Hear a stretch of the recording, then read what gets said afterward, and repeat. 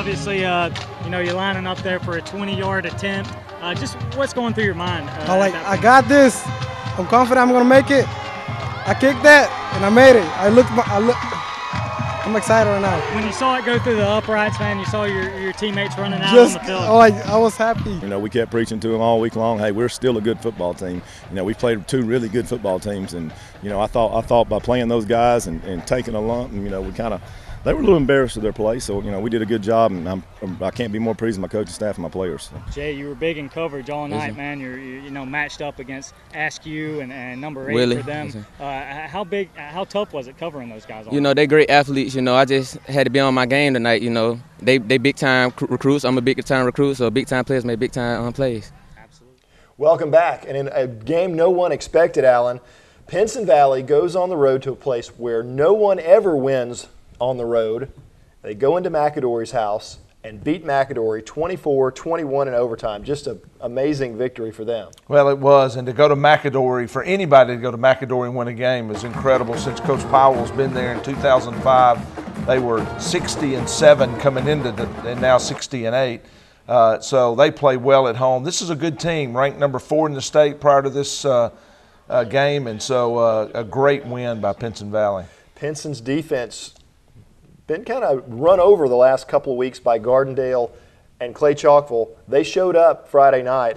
They shut down the Yellow Jackets, shut them out in the second half. How about that? Well, they played. They really played good the whole game. They played good in the first half. You know, the uh, Pinson Valley got up, and then they had the hail mary right before half. Actually, the last play of the half uh, to to go up 21 to to 14, and then Pinson Valley just shut them down in the second half, and also in overtime.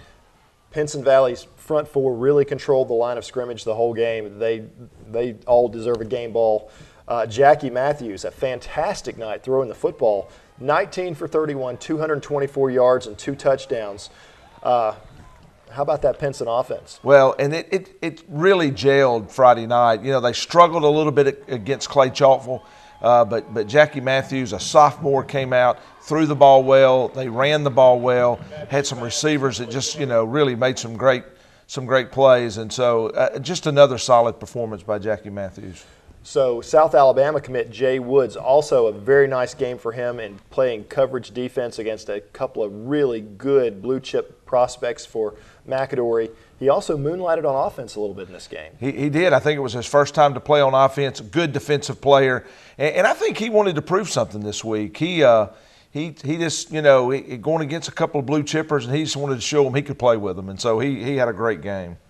Pinson Valley hosts Huffman this week. Now they're through that rough part of the schedule. You know they've gotten through Gardendale, they've gotten through Clay Chalkville, they beat McAdory on the road that nobody expected.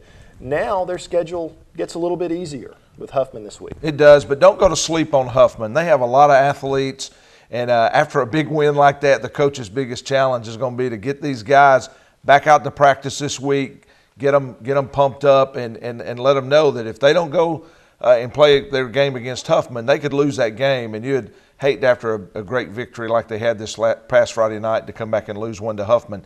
That could happen if they don't if they don't get out there and work and play their game. And Alan's going to have an interview with Coach Glover a little bit later in the show, so stick around and check that out. When we come back, Coach Hines from Hewitt Trussville Middle School stops by to talk about his program.